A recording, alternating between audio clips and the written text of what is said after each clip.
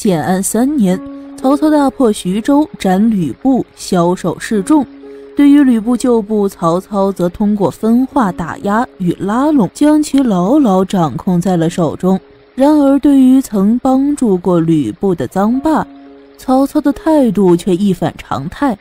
据《三国志·臧霸传》记载，即秦部，霸自逆，太祖目所得霸，简而悦之，使霸招吴敦、尹礼、孙观、关兄康等，皆议太祖。太祖以霸为琅琊相，割清徐二州，委之于霸。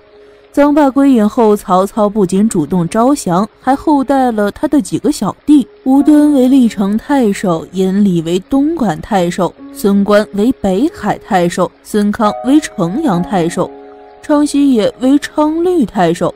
这些人便是出身于兖州泰山郡，却在清徐地域上赫赫有名的泰山诸将。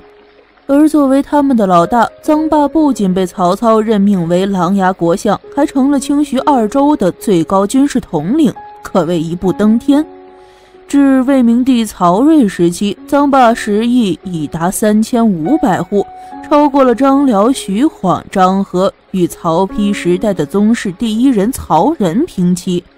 低调的臧霸到底有什么本事，能让曹操如此器重他的食邑？又为何如此之高？我们先来说第一个问题：臧霸等泰山诸将何以在清徐地域上称雄一时？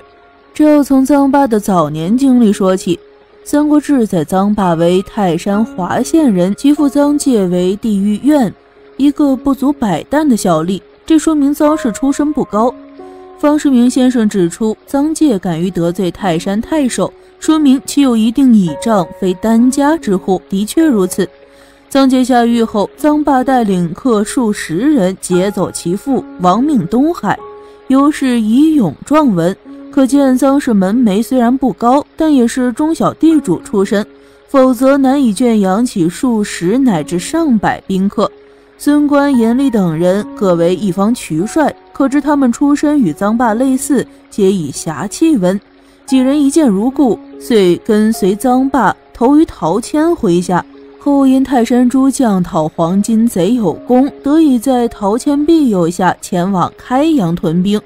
从地理位置上看，泰山位于青兖徐三州交界处，毗邻徐州琅琊郡，是以臧霸等人屯兵于开阳，不仅能将势力辐射到北海、琅琊、泰山、东海一带。还能源源不断地从家乡招募山民为己所用，这正是泰山诸将能保持战斗力的主要因素之一。陶谦与徐州士族不和，如何保证自己的统治地位？事实上，除了丹阳兵外，陶谦还有臧霸率领的泰山兵支持。可臧霸等人亡奔徐州时，只带了少数宾客。既然如此，泰山军事集团又是怎么发展起来的呢？袁绍为向公孙瓒求和，曾割让渤海郡，于是公孙瓒引兵北上，大破清徐黄巾，兵亦胜。这支声势浩大的黄巾余党在遭受重创后，一部分流入兖州，杀死兖州刺史刘岱，后被曹操收编，成了赫赫有名的青州兵。另一部分仍活动在清徐一带，后为臧霸等人击破。三国时期带有士兵性质的三支有名军队，分别是曹操的青州兵、臧霸的青徐兵与刘焉、刘璋父子的东州兵，皆是黄巾余党出身。可见，通过控制青徐兵，臧霸等泰山诸将才能在青徐地域上保持相当强大的武力。此外，他们从家乡招募来的泰山兵也不容忽视。所谓泰山险阻，作为背山面海之地，这里成为了山贼们的绝佳栖息场所。他们进可略清徐兖三州之地，退可进山入海。久而久之，泰山民风彪悍，已成为人尽皆知之事。与《后汉书·桓帝纪》中所见。泰山贼、琅琊贼亦屡禁而不能止。大将军何进谋诛宦官时，曾令心腹时任河内太守的王匡返回家乡招募山民。何进身死后，王匡为董卓所败，走还泰山，收集禁勇，欲与张妖和，却被曹操借力打力，利用胡母班家族给除掉了。曹操为何要打击泰山兵？这恐怕是因为他对泰山人接触较深。据《三国志·鲍勋传》引注魏书记载，信乃引军还乡里，收徒众二万，骑七百，辎重五千余乘。泰山民保山为寇，以勇武闻名，故经常成为各路军阀征兵的对象。曹操的挚友好友鲍信也曾于泰山募兵，其麾下大将于禁。最初正是由鲍信招募而来，那么于禁与泰山诸将中的昌西是旧交，倒也不足为奇。正是通过鲍信、于禁，曹操才会对泰山兵的悍勇有清晰认知。再看臧霸等泰山诸将，他们手中同样有一支以泰山兵为骨干、以清徐兵为补给的强大军团。听弦歌而知雅意，曹操自然会慎重对待臧霸等泰山诸将。卧榻之侧岂容他人酣睡？尽管臧霸在清徐一带行事低调，但因为与袁术、吕布之间的瓜葛，他仍被曹操给盯上了。出乎意料的是，曹操却选择了妥协。他以天子诏令，给臧霸和他的几个小弟都封了官儿。这便意味着，本质上为泰山群盗的臧霸军事集团自此有了合法的官方身份，成为名副其实的泰山诸将。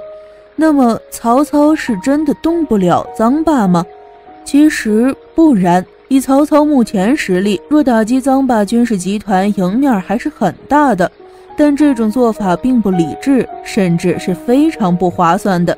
究其根源，曹操与袁绍的大决战即将来临，他没有必要花费太多精力去处理一个原本可以拉拢的强大武装势力。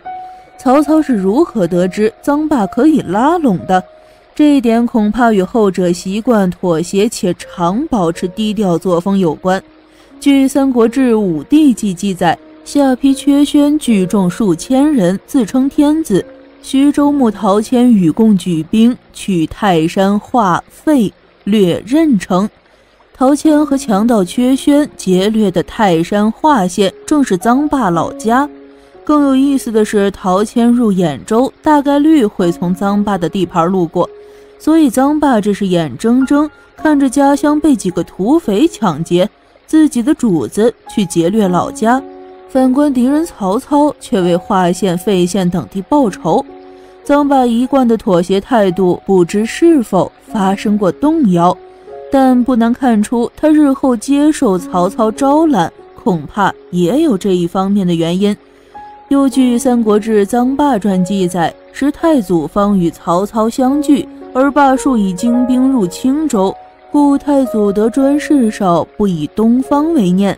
在元曹对峙期间，臧霸领导的泰山兵团与青州袁谭直接对上，从而免去了曹操在青州的后顾之忧。这说明曹操对臧霸的怀柔政策确实起到了不俗成效。